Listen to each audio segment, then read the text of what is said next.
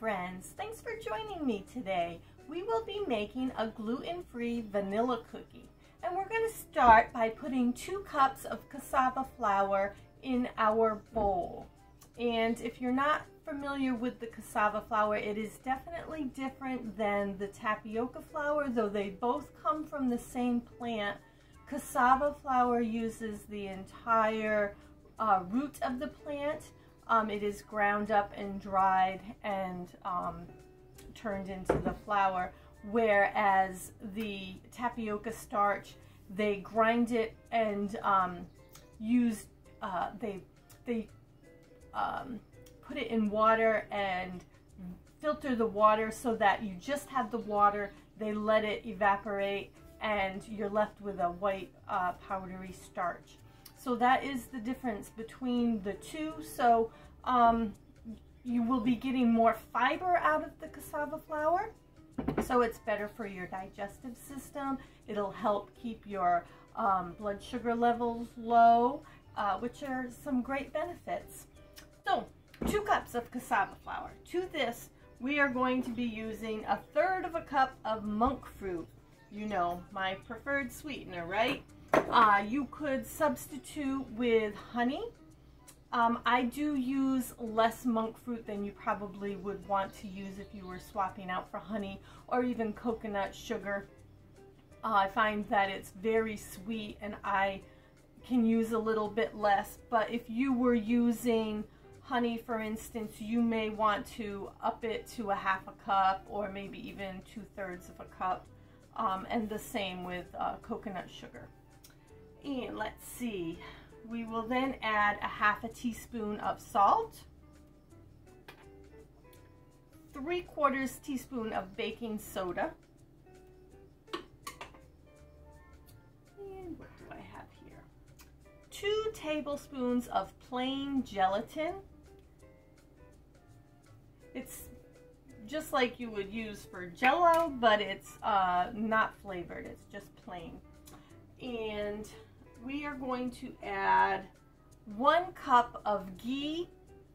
You could substitute uh, coconut oil if you can't use ghee. I have not tried using a liquid oil like avocado oil for this recipe, though you um, are welcome to try. I, I think if you did that, you would have to add maybe a half of an egg or so to the recipe because it would probably be a, a little bit too uh, liquidy for you. Um, also to this I am adding a quarter of a cup of coconut milk and I'm adding this because I'm using monk fruit.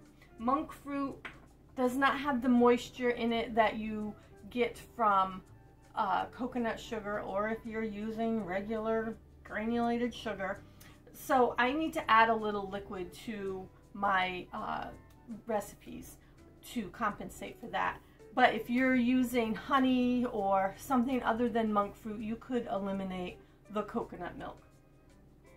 And I am adding one tablespoon of vanilla extract. My vanilla extract is pure and it's also organic. So if you aren't familiar with me, I am pretty much of a food snob. Yes. So we are going to mix all of these ingredients together. All right, that seems to be mixed up well. You can see it's pretty um, held together, pretty moldable, um, kind of like dough. So we're going to take a lined baking sheet. I've lined my baking sheet with parchment paper. And you just want to take a spoonful of dough. I'm just using the teaspoon. And we're going to roll it between our hands. And we'll put it down and flatten it out. Like so. And I am going to pause the video. I'll continue to fill my cookie tray and I'll give you a look.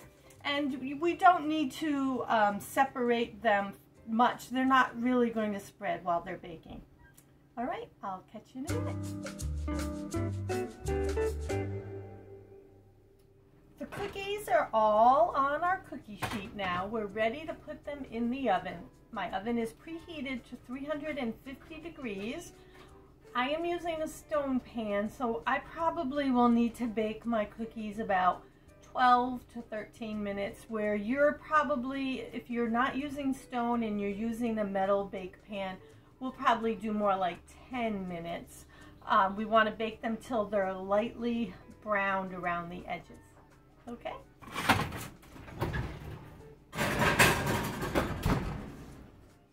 My timer just went off, so let us check the cookies and see how they look, shall we?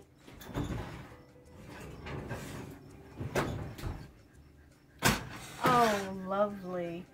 Now they're very delicate. We don't want to uh, touch them, but they do seem to be um, plenty done.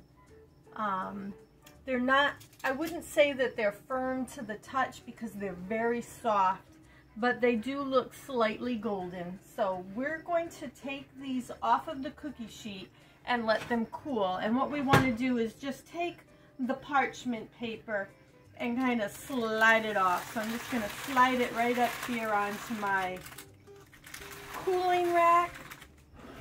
And I'll just put the legs up and let these cool while I bake the rest of the cookies. Um, and one thing I did forget to mention was you could certainly swap out butter for the ghee. Uh, if you're looking to cut out dairy, go with the coconut oil completely. Um, so we'll let these cool. I'll bake the rest of the cookies and then we'll give a taste.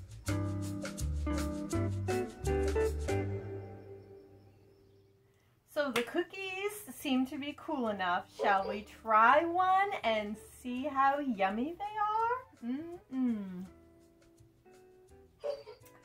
Quite lovely. They have a little bit of a shortbread kind of texture about them and you can taste the butteriness from the ghee. Quite a very nice delicate cookie. Would go great with a cup of tea. I'll catch you next time in another one of our gluten-free videos. Have a great day.